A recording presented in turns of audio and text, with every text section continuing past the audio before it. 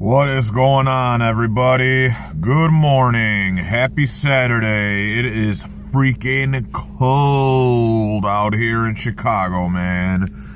But doesn't mean we don't go out and kick ass. I'm about to go hit the gym with uh, you know, the other half of one more round, RJ. Um, but before we do that, I wanted to get into another episode of From Grateful yeah, yeah, well, to Greatness. Woo, woo, woo, Weird sound effects, I know.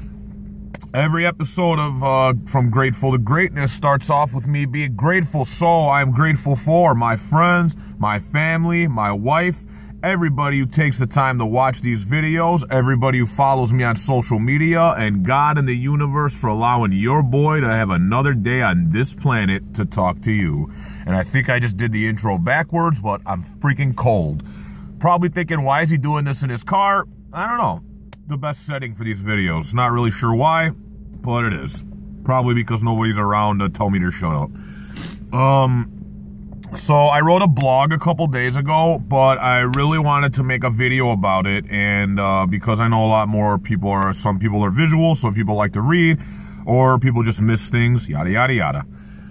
Um, I was thinking about what I've heard a lot of times from people, which is, you know, you don't have to push yourself so hard, man. Why do you have to push yourself so hard? Why do you have to be so strict? Why do you have to be so hard on yourself? Why are you you know, why don't you take a break? Why don't you relax? All that stuff. And um, I'm going to tell you why I push myself so hard.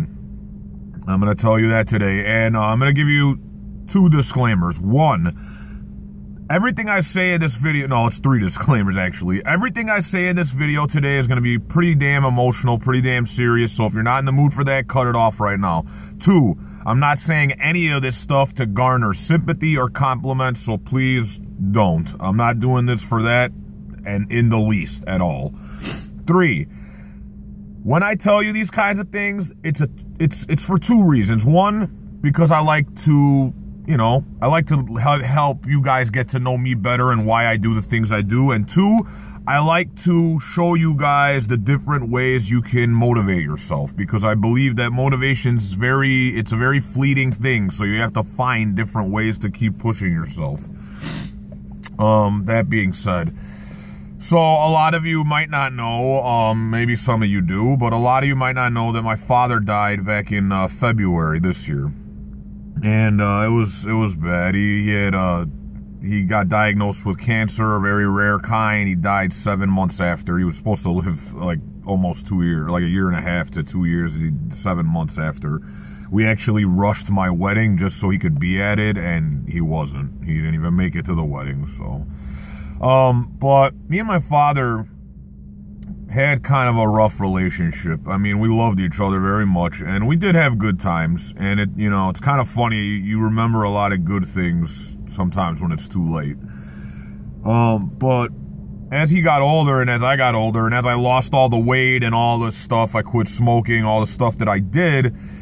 He began to develop a, a, level of pride and respect for me that he never really had before. And and and I used to resent him for that. But then as I got older and I started to understand things about hard work and determination I understood why he looked at me the way he did because he thought I was really lazy and apathetic. And it bothered him because he didn't want me to be. He wanted me to go after things and take care of myself. And anyway he died seeing me do some good things, but he didn't die seeing me financially stable. He didn't die seeing me successful. And what I mean by successful is not being in a place where I have to get help from other people and not being in a place where I'm working, doing a job that isn't really what I'm supposed to be doing and I'm working too hard to make not enough. And, you know, my sisters, both of them are older than me they are successful. They both went after what they wanted early on, and, and they're financially independent, financially stable.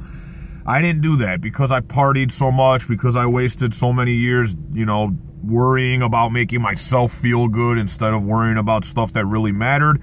I'm far behind in life, and he never got to see that, and, and it kills me. It fucking kills me, man. And after he died, I promised myself that he he might have died seeing me this way, but my mother if I can help it, will not.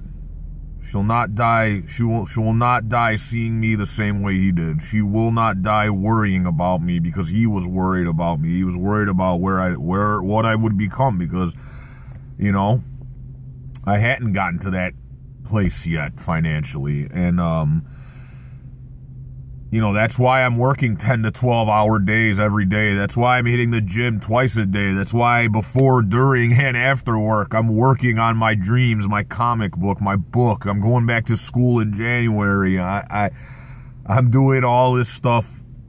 Yeah, I mean, it's for me, and it's because I want me and my wife to have a better life. But it's, I can't let my mother.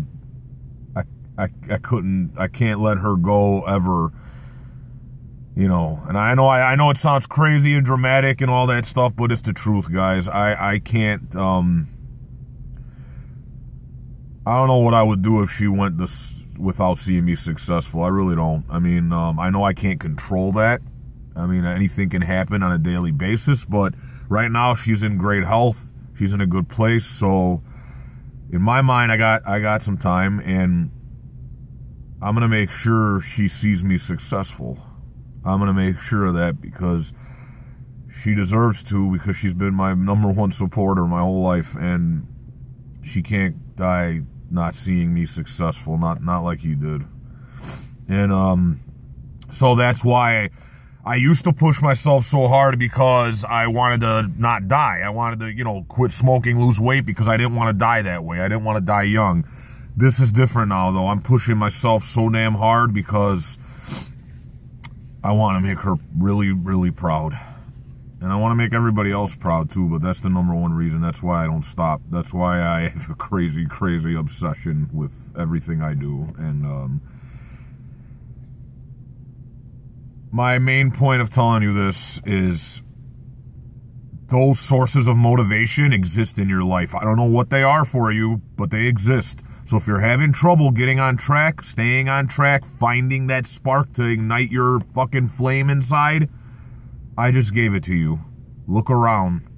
The motivation's all there, man. And that's it, guys. No matter what, she's going to see me succeed. And you guys get to come along for the ride, right? Have a good day. Time to hit the gym. Remember, all you need is a start and some heart. Peace.